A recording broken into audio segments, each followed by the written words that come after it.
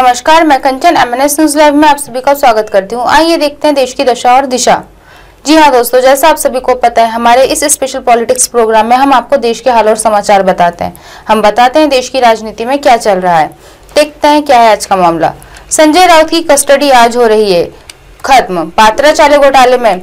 ED custody बढ़ाने की मांग करेगी। राउत के करीबी से होगी पूछताछ। मुंबई के पात्राचाल घोटाले में रविवार को गिरफ़्तार किए गए शिवसेना सांसद संजय राउत की कस्टडी गुरुवार को खत्म हो रही है। कोर्ट में आज उनकी जमानत पर सुनवाई होगी। ईडी के वकील prevention of money laundering act court में उनकी जमानत का विरोध करेंगी और कस्टडी बढ़ाने की मांग करेंगी। पात्राचाल घोटाले की जाँच कर रही ईडी ने बताया कि संजय राउत ने 10 प्लॉट खरीदने के लिए तीन करोड़ रुपए कैश दिए थे। संजय राउत को ये कैश प्रवीण राउत की ओर से मिला था। ईडी के मुताबिक संजय राउत के लिए प्रवीण फ्रंटमैन की तरह थे। वो संजय राउत को हर महीने लाखों रुपए कैश भी भेजते थे। इसी तीन करोड़ के नए खुलासे को आधार मानते हुए बनाते हुए ईडी जमानत का विरोध और कस्टडी बढ़ाने की मांग करेगी। ईडी प्रवीण राउत एचडीआईएल गुरु आशीष कंस्ट्रक्शन से जुड़े कुछ और लोगों से पूछताछ के लिए बुलाएगी। मामले में संजय राउत से जुड़े लोगों को भी पूछताछ के लिए बुलाया जा सकता है। कुछ और संपत्तियाँ जो संजय राउत और उनके परिवार द्वारा हाल ही में खरीदी या कब्जा की गई है, एजेंसी की जाँच के दायरे में है। हालाँकि राउत और उनके भाइयों ने इसके स्वामित्व से इंकार किया। इधर सूत्रों ने बताया कि रविवार को संजय राउत के घर की तलाशी के दौरान ईडी के साढ़े ग्यारह लाख रुपए नगद मिले हैं। राउत या उनके परिवार के लोग इस रकम का सोर्स नहीं बता सकते हैं। ईडी ने इस रिकवरी को अपनी जाँच में दर्ज कर लिया है। पात्राचाल घोटाला एक दशमलव ज़ीरो चार तीन करोड़ रुपए का है। राउत इस केस में आरोपी है। यह मामला मुंबई के गोरेगांव इलाके में पात्राचाल से जुड़ा है। इसमें Maharashtra housing and area development authority का भूखंड है। इसमें करीब एक करोड़ का घोटाला होने का आरोप है। इस केस में संजय राउत की 9 करोड़ रुपए और राउत की पत्नी वर्षा की 2 करोड़ रुपए की संपत्ति जब्त हो चुकी है। आरोप है कि रियल एस्टेट कारोबारी प्रवीण राउत ने पात्राचाल में रहे लोगों को लोगों से धोखा किया। एक कंस्ट्रक्शन कंपनी को इस भूखंड पर 3000 फ्लैट बनाने का काम मिला था। इनमें से छह सौ बहत्तर फ्लैट पहले से यहाँ रहने वालों को देने थे। शेष मादा और उक्त कंपनी को दिए जाने थे, लेकिन साल 2011 में इस विशाल भूखंड के कुछ हिस्सों को दूसरे बिल्डरों को भेज दिया गया था। 2020 में महाराष्ट्र में सामने आए पीएमसी बैंक घोटाले की जाँच हो रही थी। तभी प्रवीण राउत की कंस्ट्रक्शन कंपनी का नाम सामने आया था। तब पता चला कि बिल्डर की पत्नी के बैंक खाते से संजय राउत की पत्नी वर्षा राउत को पचपन लाख रुपए का कर्जा दिया गया था। आरोप है कि संजय राउत ने इसी पैसों में दादर से में एक फ्लैट खरीदा था। रिमांड कंपनी के मुताबिक जाँच में यह भी सामने आया कि पात्राचाल के रिडेवलपमेंट प्रोजेक्ट के दौरान संजय राउत की पत्नी की कंपनी अवनी इंफ्रास्ट्रक्चर 2010-11 में अलीबाग के किहिम बीच पर आठ कॉन्ट्रैक्ट के तहत 10 लैंड पार्सल खरीदे। यह कॉन्ट्रैक्ट स्वप्ना पाटकर और वर्षा राउत के नाम से किए गए पाटकर ने अपने बयान में कहा है कि इन जमीनों को खरीदने के बदले विक्रेताओं को नगद भुगतान किया गया था और इस नगद भुगतान का स्रोत प्रवीण राउत है। जब अवनी इंफ्रास्ट्रक्चर कंपनी बनाई गई, तब संजय राउत की पत्नी वर्षा राउत एक टीचर थी और प्रवीण राउत की पत्नी माधुरी राउत उस समय गृहिणी थी। वर्षा राउत को अवनी इंफ्रास्ट्रक्चर में पाँच करोड़ छह सौ पच्चीस रूपए के निवेश के बदले तेरह लाख पंचानवे हज़ार छह सौ ग्यारह रूपए मिले थे ईडी की ओर से। दावा किया गया है कि प्रवीण राउत की ओर से संजय राउत को हर महीने दो लाख रुपए नकद मिले हैं। संजय राउत ने विक्रेताओं को अलीबाग के किहिम बीच स्थित अपनी ज़मीन बेचने को धमकी दी गई थी। इसके अलावा उन्होंने ईडी के सामने गवाही देने वालों को भी धमकी दी है। संजय राउत की कस्टडी आज हो रही है खत्म। पात्रा चौल घोटाले में ईडी कस्टडी बढ़ाने की मांग करेगी। राउत के करीबियों से होगी पूछताछ। मुंबई के पात्रा चौल घोटाले में रविवार को गिरफ़्तार किए गए शिवसेना सांसद संजय राउत की कस्टडी गुरुवार को खत्म हो रही है। कोर्ट में आज उनकी जमानत पर सुनवाई होगी। ईडी के वकील prevention of money laundering act court में उनकी जमानत का विरोध करेगी और कस्टडी बढ़ाने की मांग करेगी।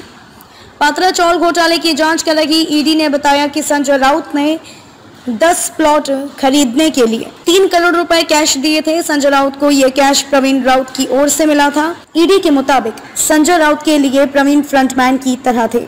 वो संजय राउत को हर महीने लाखों रुपए कैश भी भेजते थे। इसी तीन करोड़ के खुलासे को आधार बनाते हुए ईडी जमानत का विरोध और कस्टडी बढ़ाने की मांग करेगी। ईडी प्रवीण राउत एच गुरु आशीष कंस्ट्रक्शन से जुड़े कुछ और लोगों को पूछताछ के लिए बुलाएगी। मामले में संजय राउत से जुड़े लोगों को भी पूछताछ के लिए बुलाया जा सकता है। कुछ और संपत्तियाँ जो संजय राउत और उनके परिवार द्वारा हाल ही में खरीदी या कब्जा की गई है। एजेंसी की जाँच के दायरे में है।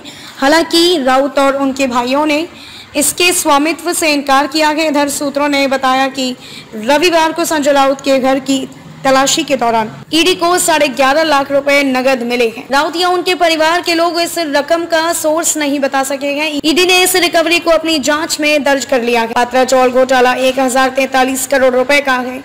राउत इस केस में आरोपी हैं। यह मामला मुंबई के गोरेगांव इलाके में पात्रा चौल से जुड़ा है।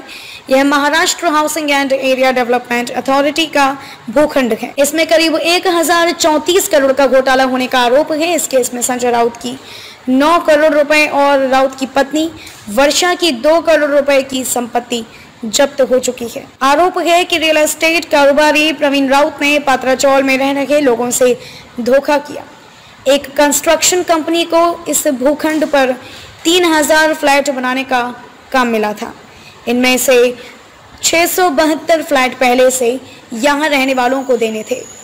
शेष एम और उक्त कंपनी को दिए जाने थे, लेकिन साल 2011 में इस विशाल भूखंड के कुछ हिस्सों को दूसरे बिल्डरों को बेच दिया गया था। 2020 में महाराष्ट्र में सामने आए पीएनसी बैंक घोटाले की जाँच हो रही थी। तभी प्रवीण राउत की कंस्ट्रक्शन कंपनी का नाम सामने आया था। तब पता चला कि बिल्डर की पत्नी के बैंक खाते से संजय राउत की पत्नी वर्षा राउत को 55 लाख रुपए का कर्ज दिया गया था। आरोप है कि पैसों से दादर में एक फ्लैट खरीदा था। रिमांड कॉपी के मुताबिक जाँच में यह भी सामने आया है कि पात्रा चौल के रीडेवलपमेंट प्रोजेक्ट के दौरान संजय राउत की पत्नी की कंपनी अवनी इंफ्रास्ट्रक्चर ने 2010 से 11 में अलीबाग के केहन बीच पर आठ कॉन्ट्रैक्ट के तहत 10 लैंड पार्सल खरीदे। ये कॉन्ट्रैक्ट स्वप्ना पाटकर और वर्षा राउत के नाम से किए गए थे। पाटकर ने अपने बयान में कहा है कि इन जमीनों को खरीदने के बदले विक्रेताओं को नगद भुगतान किया गया था और इस नगद भुगतान का स्रोत प्रवीण राउत है। जब अवनी इंफ्रास्ट्रक्चर कंपनी बनाई गई, तब संजय राउत की पत्नी वर्षा राउत एक टीचर थी और प्रवीण राउत की पत्नी माधुरी राउत उस समय गृहिणी थी। वर्षा राउत को अवनी इंफ्रास्ट्रक्चर में पाँच हज़ार छह सौ पच्चीस रुपए के निवेश के बदले तेरह लाख पिचानवे हज़ार छह सौ ग्यारह रुपए मिले थे। ईडी की ओर से दावा किया गया है कि प्रवीण राउत की ओर से संजय राउत को हर महीने दो लाख रुपए नगद मिले हैं। संजय राउत ने विक्रेताओं को अलीबाग के केहम बीच स्थित अपनी ज़मीन बेचने की धमकी दी गई थी। इसके अलावा उन्होंने ईडी के सामने गवाही देने वालों को भी धमकी दी है। आज की खास खबरों को यही विराम देते हुए कल फिर मिलेंगे इसी समय इसी जगह। देखते रहिए न्यूज़ लाइव क्योंकि सच ज़रूरी है। नमस्कार।